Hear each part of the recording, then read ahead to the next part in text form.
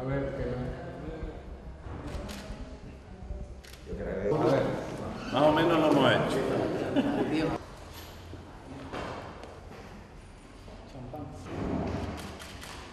Cojan. Pero cuando te veías te la quedaba, no iba a pedir. Ya no había- Esta fue. Esta es. Esta es. No. No. A mí me tocó entonces coordinarla y esa es mía. Aquí tiene. 25 años. Oye, ¿dónde nos vamos a reunir? Pues eran 12. 12. 12.